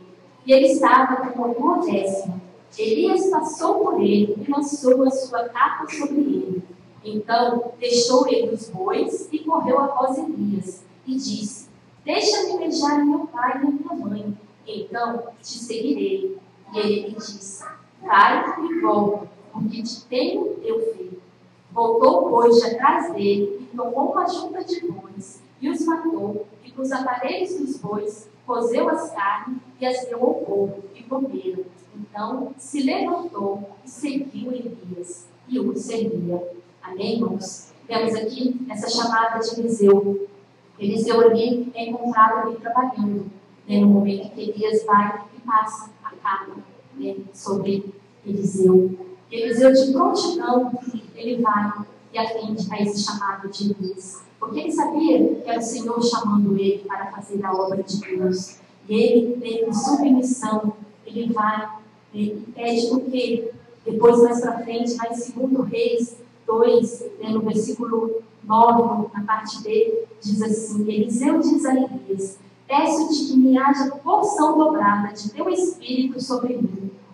Olha só, irmãos, porção dobrada do espírito de Deus sobre a vida dele, porque ele sabia que Elias era um grande profeta, ele estava sendo um homem usado por Deus, e ele queria que este mesmo Espírito estivesse sobre a vida dele, porque lá em Deuteronômio diz que a porção dobrada era dada para os primogênitos, todo primogênito daria a porção, tudo que o pai tinha seria dado a eles. Então, Eliseu, ele se sentia como filho de Elias, e ele queria essa porção dobrada sobre a vida dele. Né? E Elias faz o quê? No momento em que ele pede isso, né, Elias o atende e fala para ele: se ele visse ele ser tomado né, pelos cavalos de fogo, ele teria essa porção sobre a vida dele. Nós conhecemos e vimos ali que ele foi e viu Elias sendo arrebatado né, para Deus. E ele possuiu essa, este espírito grandioso, essa porção dobrada sobre a vida dele. Porque grandes milagres, eu estou precisando né? Eliseu foi um dos homens que realizou grandes profetas, que realizou mais milagres ali naquela época. Olha só, irmãos, que tremendo. Olha só, os irmãos terem ideia do que, que dos milagres que Eliseu operou, ele fez. Abriu as águas do Jordão com a capa deixada por Elias. Transformou uma fonte de água mar em água potável, utilizando sal Amaldiçoou os rapazes que zombavam de sua calvície. Deus envia duas ursas e matam 42 rapazes. Previu ao rei uma expedição bem-sucedida contra os moabitas. Multiplicou o azeite da viúva. Previu o nascimento do filho de uma sunamita. E quando o menino morreu, orou e trouxe de volta a vida. Alimentou cem homens com vinte pães e algumas espigas. Curou o capitão da Síria, na mão de lepra. Fez uma chave que havia, havia caído no rio Upuá. Adivinhou os planos dos inimigos do rei. Previu durante a grave, grave fome de Samaria que haveria abundância de comida no dia seguinte. E profetizou a morte do oficial que zombou da profecia, como já leu ontem após a sua morte, quando o cadáver foi jogado na sua sepultura, assim que tocou os ossos do profeta, voltou à vida. Olha, irmãos, ele já havia morrido. Eliseu já estava morto na sepultura. No momento de jogar o cadáver ali, na hora que o cadáver bateu de com os ossos de Eliseu, ele voltou à vida. Então, olha só para os irmãos verem que tremendo é quando estamos cheios do Espírito de Deus. Assim como ele foi na vida de Eliseu, ele é na nossa vida também, porque somos servos de Deus, né? temos andado em submissão a uma liderança, né? temos que ser humildes, né? assim como foi Josué, teve o exemplo de Moisés, Eliseu teve o exemplo de Elias, amém? Então, possamos ser sempre humildes, sabendo que Deus né, está no controle, Ele é o nosso pastor, ele tem constituído a vida dos pastores para estarem na liderança, para estarem né, falando sobre as escrituras, nos ensinando o que nós devemos fazer. Então vamos continuar assim. Um outro homem, que eu quero dar um exemplo, que foi um rei, que no tempo que ele serviu a Deus, ele foi muito honrado. Que está aqui em 2 Crônicas, os irmãos abram, 2 Crônicas, capítulo 26. Segunda Crônicas, capítulo 26, versículo 1.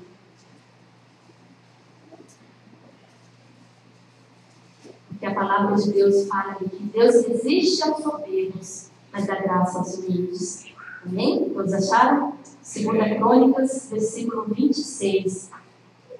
Diz assim, no versículo 1, a partir do 1, depois estarei lendo outros. Então todo o povo tomou a Uzias, que era da idade de 16 anos, e o fez rei em lugar de Amazias, seu pai. Versículo 4.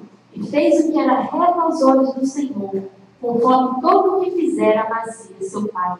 Porque Deus ia buscar a Deus nos dias de Zacarias, sábio nas visões de Deus. E nos dias em que o buscou, o Senhor, Deus o fez prosperar. Amém, irmãos? Se os irmãos depois quiserem ver essa história, é tremendo. Enquanto Uzias esteve ali, sob a liderança de Deus, humildade, buscando a face do Senhor, em oração, Deus foi ele vitórias.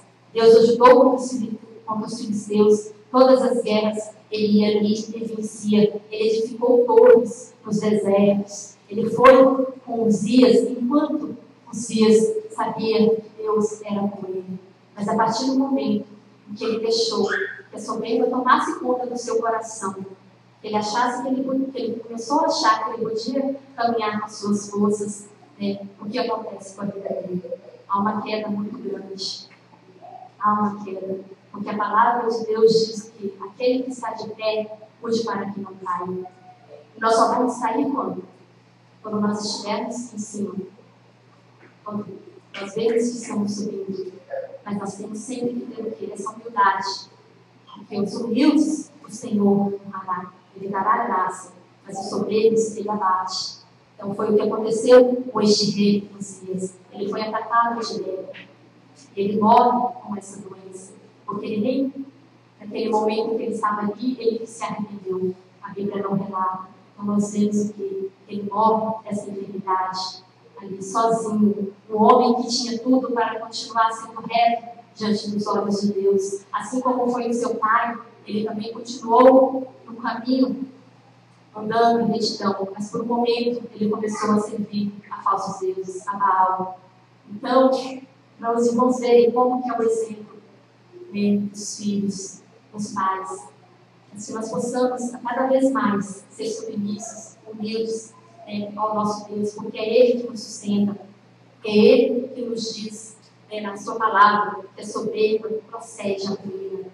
E ela é verdadeira, ela é fiel, porque temos exemplos, tanto em vidas homens da palavra de Deus, como temos visto em igrejas que a soberba tem dominado e temos visto na igreja tem se arruinado por causa dessa soberba. Então, que nós não venhamos a ser assim, deixando-nos enganar, porque bem-aventurados humildes de espírito, porque dele é o reino dos céus. Né? Se formos humildes, continuarmos em submissão e humildade ao Senhor, Ele irá nos levar para estar com eles. Amém? E um outro grande homem, irmãos, né? é Jesus.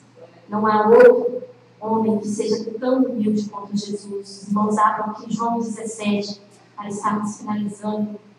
Né? Foi até o versículo citado aqui pelos irmãos da Nigéria. Né? Os irmãos veem como Deus vai testificando a sua palavra, irmãos. Porque Jesus né, é o nosso autor e consumador da nossa fé. É Ele que nos dá a certeza de que nós temos que continuar pregando a palavra. Aqui no versículo 17, capítulo 17 de João, diz assim: Jesus falou essas coisas e, levantando os olhos ao céu, disse: Pai, é chegada a hora. Glorifica teu filho, para que também teu filho te glorifique a ti. Assim como lhe deste poder sobre toda a carne, para que dê a vida eterna, tanto quanto lhe deste, e a vida eterna é esta: que conheçam a ti só, por único Deus verdadeiro, e a Jesus Cristo, a quem enviaste. Eu glorifiquei-te na terra, tendo consumado a obra que me deste a fazer. E agora, glorifica-me tu, ó Pai, junto de ti mesmo, com aquela glória que tinha contigo antes que o mundo existisse. Manifestei o teu nome aos homens, que do mundo me deste. Eram teus, e tu nos deste, e guardaram a tua palavra. Agora já tenho conhecido que tudo quanto me deste provém de ti, porque lhes dei as palavras que me deste, e eles as receberam, e têm verdadeiramente conhecido que saí de ti, e creram que me enviaste. Eu rogo por eles, não rogo pelo mundo, mas por aqueles que me deste, porque são teus. E todas as minhas coisas são tuas, e as tuas coisas são minhas, e nisso sou glorificado. Eu já não estou mais no mundo, mas eles estão no mundo. E eu vou para ti, Pai Santo. Guarda em teu nome aqueles que me deste, para que sejam um assim como nós. Estando eu com eles no mundo, guardava-os em teu nome. Tenho guardado aqueles que tu me deste, e nenhum deles se perdeu, senão o filho da perdição, para que as escrituras se cumprissem. Mas agora vou para ti, e digo isto no mundo, para que tenham a minha alegria completa em si mesmos. Deles a tua palavra, e o mundo as odiou, porque não são do mundo, assim como eu não sou do mundo.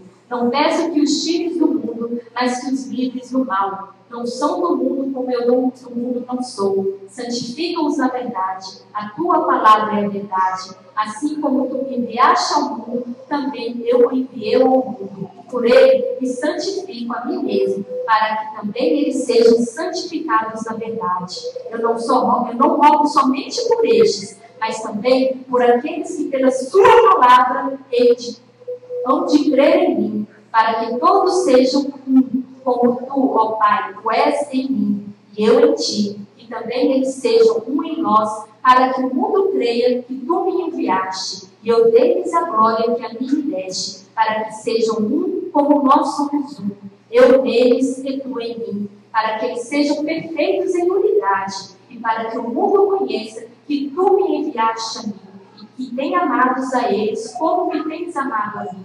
Pai, aqueles que me deste, quero que onde eu estiver, também eles estejam comigo, para que vejam a minha glória que me deste, porque tu me has amado antes da criação do mundo.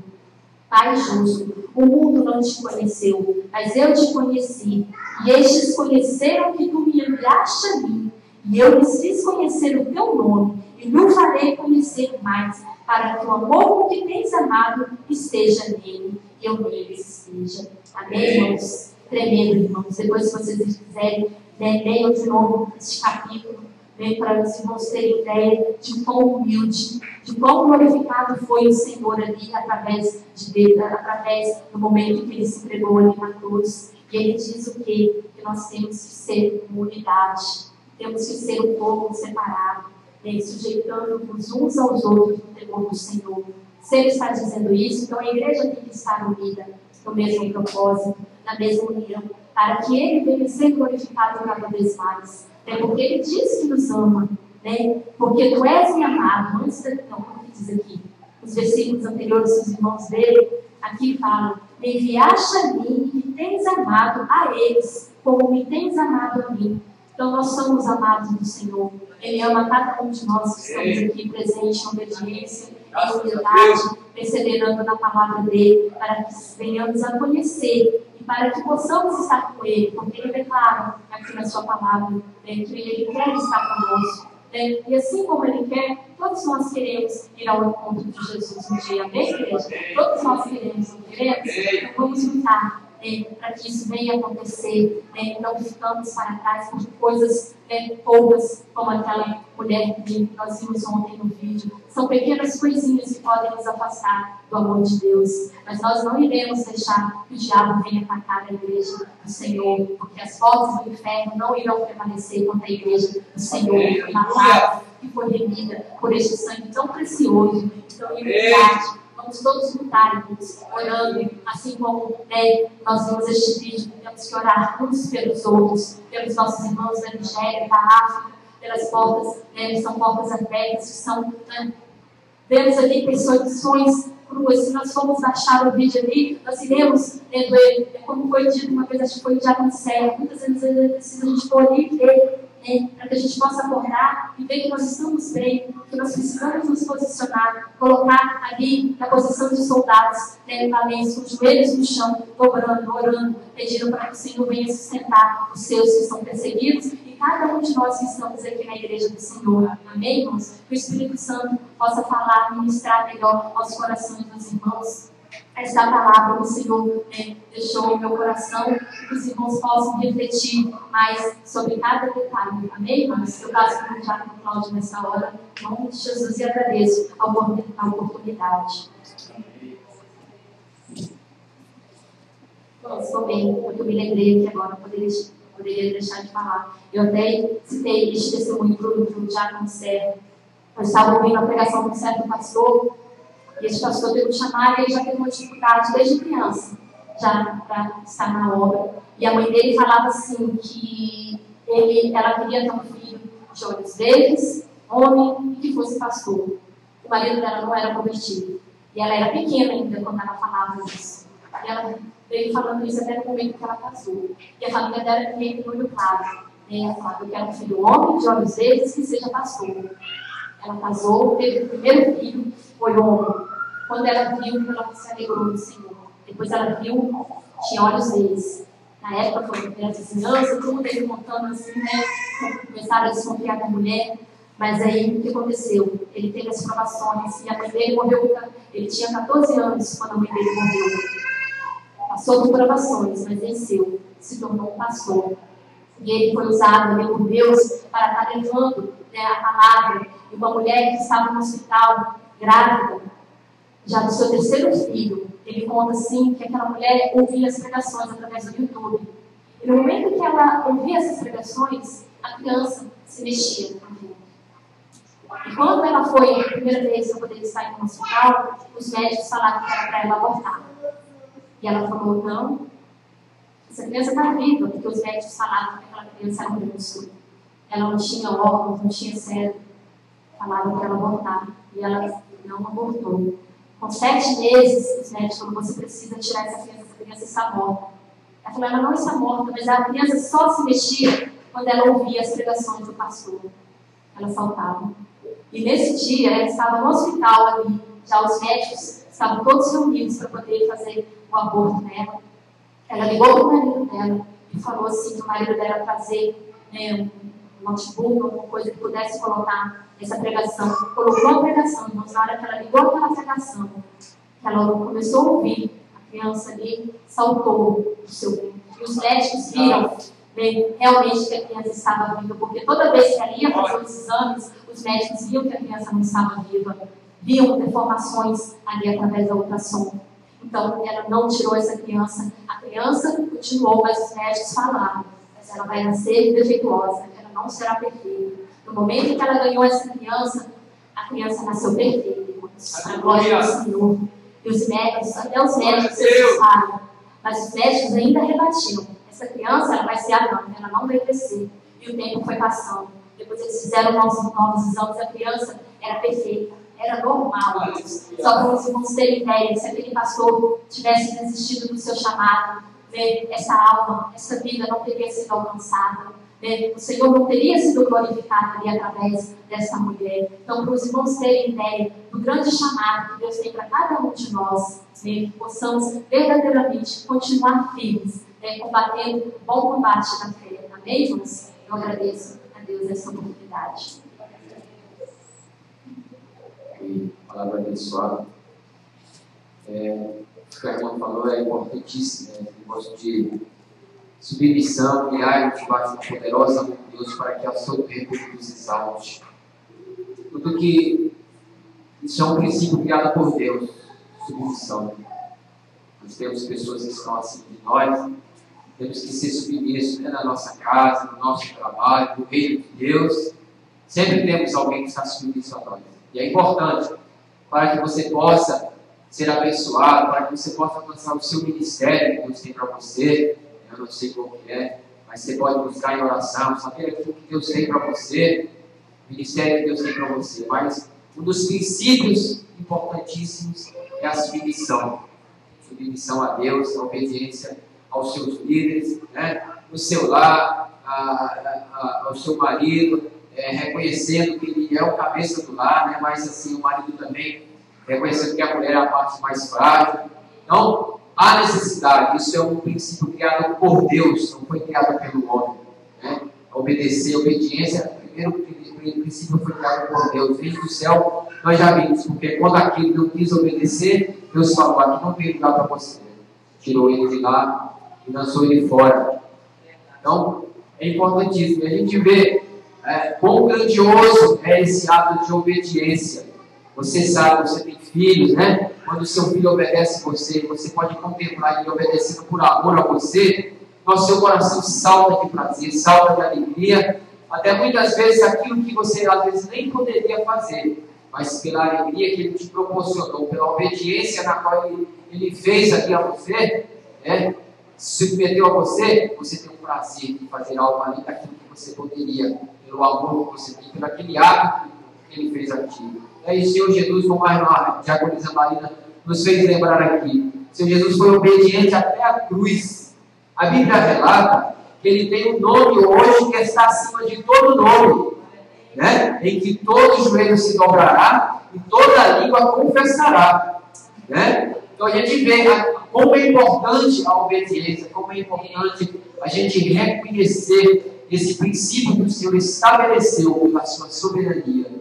Então, vamos estar nesse momento de pé, vamos estar orando né, para que Deus esteja colocando em nós o coração, porque muitas vezes encontramos barreiras assim, né? Em obedecer, em ser submisso, às vezes. Até as nossas esposas, às vezes, ela tem razão, mas às vezes nós encontramos é, dificuldades em aceitar que ela tenha razão. Mas até isso nós temos que entender. Às vezes é um propósito de Deus ela tem sensibilidade a alguma coisa que nós não temos. Está dando Deus ali uma visão para ela, uma, uma, uma direção para ela, e quer passar para você. Mas se nós não conseguirmos, tiver os nossos ouvidos espirituais abertos e ouvir e atentar, né? não vamos aprender, não vamos aí captar a mensagem que o Senhor quer dar para nós. E as esposas também, né? às vezes o marido ali quer dar uma discussão, quer falar alguma coisa. Então é importante mesmo que haja essa, esse entendimento acerca do que é isso, né? esse princípio criado por Deus. Né? Então vamos orar. O Senhor venha colocar humildade em nossos corações. Senhor, nosso Deus e nosso Pai, sobre essa palavra que foi ministrada, Deus, pela tua serva, Diaconisa Marina, queremos orar e te pedir que o Senhor venha, Deus, ó Deus, nos ensinar a cada dia mais através da sua palavra, através de, todo aquele, de todos aqueles, ó Deus, que te deixaram exemplo, Deus, de submissão, Moisés, Josué, ó Deus, Jesus, ó Senhor Deus, João Batista, todos aqueles que foram submissos ó, a Ti, eles deixaram grandes e maravilhosos ensinos para serem seguidos, para serem aprendidos, e todos eles, ó Deus, que seguiram a Ti, que seguiram esse exemplo, Deus, de obediência, de submissão, alcançaram, Senhor Deus, ministérios tremendos, poderosos, alcançaram, Senhor Deus, diante da Tua presença, honra, alcançaram diante de Ti, ó Senhor Deus, ó Deus, o nome, Deus, que foi deixado aqui na Bíblia, Senhor Deus, em nome de Jesus, nós queremos nesta noite te pedir que o Senhor venha trabalhar, ó Pai, em nosso caráter, em nossa personalidade, ó Deus, para que nós possamos ser forjados e aprendermos, ó Deus, a ser submissos e obedientes, ó Deus, a Ti em primeiro lugar, e aqueles que estão acima de nós, ó Senhor Deus, em nome de Jesus, a o Senhor tem colocado. Ó Deus, traz, ó Senhor Deus, este quebrantamento em cada coração, traz esse entendimento, teu Espírito, Deus, venha mover, ó, esse sentimento em nossos corações, para que possamos, ó Deus, entender, ó Deus, a cada dia mais a Tua vontade para as nossas vidas, e receber, ó Deus, com alegria o chamado e receber com alegria, Deus, o, o ministério que o Senhor tem para colocar na mão de cada um de nós, que parte do princípio de obediência, Senhor. Dai-nos essa visão, dai-nos esse entendimento, ó Deus, que toda dificuldade, Deus, que toda dureza, ó Deus, que toda falta de compreensão, ó Deus, seja tirada das nossas vidas, ó Pai, e que os nossos ouvidos possam estar sensíveis, abertos, ó Senhor Deus, atenciosos, para ouvir a sua voz, para obedecer ao Senhor, que através de outras vidas, que através do superior que o Senhor tem colocado sobre nós, possam ser dadas a nós, ó Pai, que possamos recebê-las com alegria, ó Deus, e ser abençoados por Ti. E que no dia de amanhã, Deus, quando tiverem outras pessoas, ó Deus, sobre Deus, sobre a nossa autoridade, se Deus, possamos, ó Deus, ensinar aquilo que aprendemos no dia de hoje, quando estamos sendo submissos à Tua vontade. É essa, essa é a oração, ó Deus, que nós fazemos nesta noite e te pedimos a tua bênção. E fala, Deus, em cada coração, ó Deus, nesta noite, em nome de Jesus. Amém. E graças a Deus. Vamos estar agradecendo ao Senhor por este culto. Agradeço ao Senhor no seu lugar por essa palavra que você recebeu, por este dia. Senhor, nosso Deus e nosso Pai, queremos te agradecer, Deus, por este dia, por essa rica, grandiosa oportunidade, Deus, de estar aqui de ouvir a tua palavra, de poder, ó Deus, com as nossas vidas, ofertar ao Senhor, ó Deus, com alegria, louvor, a nossa gratidão, ó Deus, em nome de Jesus, podemos ofertar, ó Deus, ó Deus, tudo aquilo que lhe pertence, Deus, a honra, a glória e o louvor. Ó Deus, muito obrigado por tudo que Senhor operou neste dia. Muitas coisas, ó Deus, os nossos olhos não podem contemplar, mas no mundo espiritual, Pai, Tu já declarou a vitória, Tu já declarou a bênção, Tu já declarou a cura, a libertação, a provisão. E nós cremos, ó Deus, em nome de Jesus, porque assim temos aprendido através da Sua palavra. Então, ó Deus, seja glorificado, seja exaltado. E nós queremos te agradecer neste dia, nesta noite, por este culto, Deus, aqui que nós realizamos, ó Deus, para Ti. Em nome de Jesus, receba, Senhor a gratidão de cada irmão pela palavra abençoada que foi enviada aos nossos corações. Em nome de Jesus, abençoa também, ó Senhor Deus, a vida daqueles que lá estão em Comaço, ó Senhor Deus, alcança ali, que cada um também possa ser grato por tudo aquilo que o Senhor tem operado em cada vida, no nome santo e poderoso de Jesus. Amém? Fica suas mãos para receber a bênção final. Que a graça do Senhor Jesus Cristo, o amor de Deus e a comunhão do Espírito Santo esteja sobre cada um de nós, não só hoje, nem somente agora, mas para sempre, em nome de Jesus. Que nós oramos, todos em concordam, é claro? Amém. E graças a Deus. Salva seu irmão na paz do Senhor e diga para ele: seja submisso ao Senhor. Amém? Ah, em nome de Jesus, eu quero dar um recado aos irmãos. Esta semana é a semana de oração. Então, na terça, na quarta, na quinta é estudo bíblico, mas na terça e na quarta tem oração, e na sexta, a partir das 10 horas, o pastor está se reunindo aqui para estar orando também. Tudo bem? Estamos encerrados nessa vez.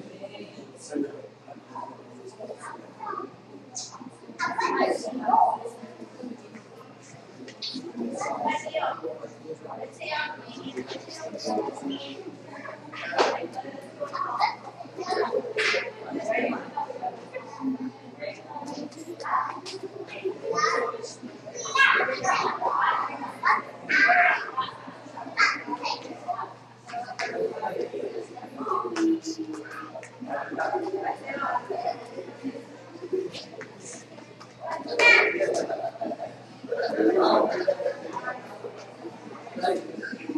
para